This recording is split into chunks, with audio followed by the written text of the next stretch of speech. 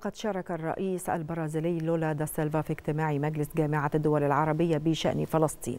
وخلال كلمته أكد لولا دا سيلفا أن العدوان الإسرائيلي على غزة رد غير متناسب وغير مقبول مؤكدا أن بلاده قررت تقديم مساعدات مالية لوكالة الأونروا ومطالبا باقي الدول التي قطعت مساهمتها بالتراجع.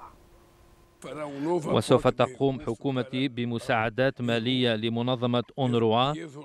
ونحن نحث كل البلدان أن تحتفظ بمساعدتها لهذه المنظمة.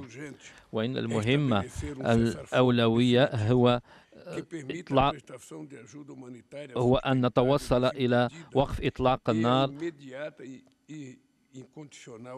بدون شروط وذلك وتحرير الرهائن وإن الصراع المستمر في فلسطين فهو يتعدى منطقة الشرق الأوسط لأن تأثيراته سوف تؤدينا إلى سيناريوهات مرعبة.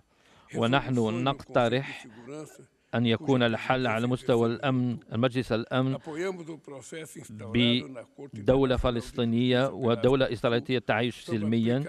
ونحن ندعم أيضا القرارات التي تندد بالانتهاكات المتتالية والإبادة الجماعية التي تقوم بها إسرائيل.